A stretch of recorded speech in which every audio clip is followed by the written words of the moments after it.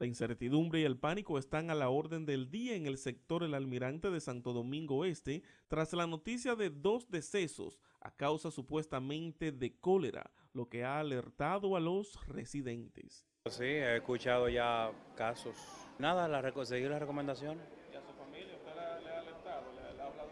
Claro, lo que pasa es que a veces uno para no transmitir pánico, uno no dice muchas cosas, pero sí, nos estamos cuidando. Hay que tener pánico, viejo, porque que imagínense, aunque nosotros aquí en el país nos cuidamos, pero que usted sabe que tenemos un, tenemos un sinnúmero de, de, de, personas que son documentados, son nacionales haitianos, que eso no, eso no se cuidan, eso donde quiera que llegan es, es como el chivo sin ley, usted sabe.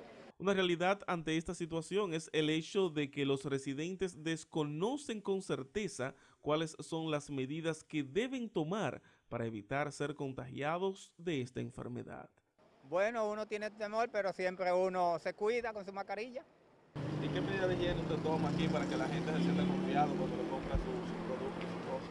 Confiado, bueno, yo le doy el mejor producto, digo que usen su mascarilla y su gel.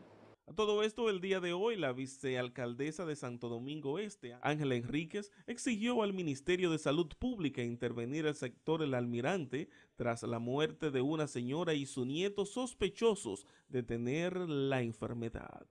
Para Telnoticias, Santiago Drullar.